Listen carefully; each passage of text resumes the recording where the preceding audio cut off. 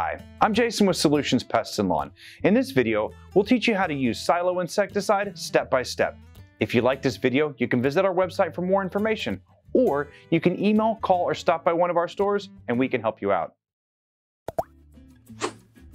Sylo insecticide is a 25.4% cypermethrin emulsifiable concentrate insecticide that works best when used as a barrier application or to treat active pest infestations.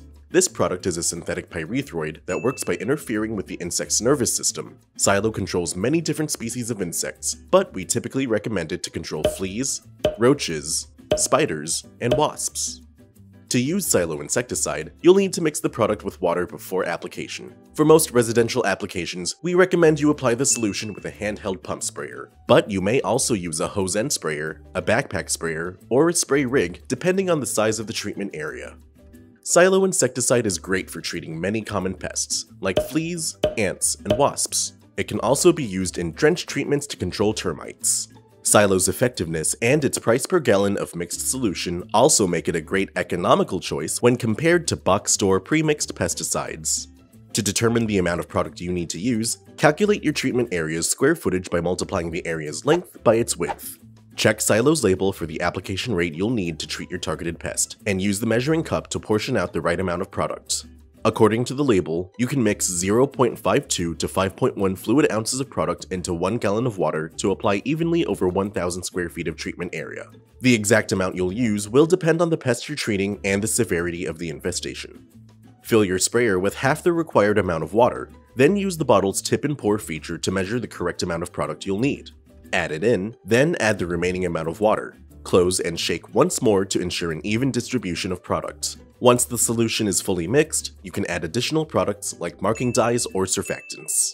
Once you're ready, you can apply it as a broadcast spray, as a barrier spray, and treat cracks and crevices.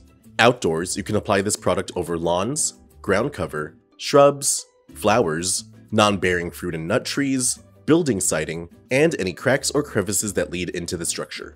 For broadcast spraying, surface spraying, or barrier spraying, use a fan nozzle spray setting to get uniform coverage. For crack and crevice spraying, use a pinstream nozzle setting for precision application.